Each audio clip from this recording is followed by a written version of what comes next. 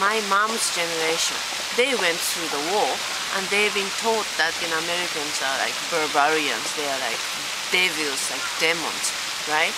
And all of a sudden they start Americans distributing like you know snacks, chocolates, and everything, and everybody became like a friend, right? So I think like people in that kind of generation, they do have sort of ambivalent, you know, feeling about Americans. I mean, overall, Americans, for a lot of Japanese, didn't turn out to be that bad. You know, as bad as they thought they might be, as they have been taught. Mm-hmm. But in a way, you know, Japanese people have always been cautious, you know, about Americans. I mean, I mean, deep inside. On surface, we've been always like, oh, America, great, you know. I think it was like late 60s or 70s when American goods came over to Japan.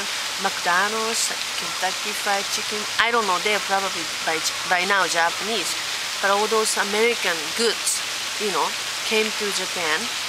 I remember the time when American first uh, McDonald came to my town. Everybody had to line up for a big shake, you know. And then, you know, we just wondered why America needs to have such a big, huge drink. You know, you can't, you know, I, I was a child, but, you know, I was shocked that American can actually drink the whole thing alone.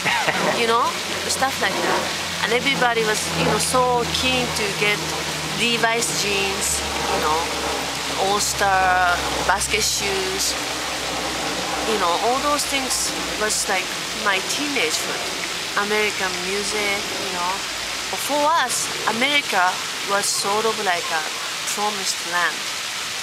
When Japan was still struggling, we certainly felt some sort of inferior feelings toward America because, you know, we thought America was like richer, bigger, you know, it, it, it was a symbol of, you know, wealth right?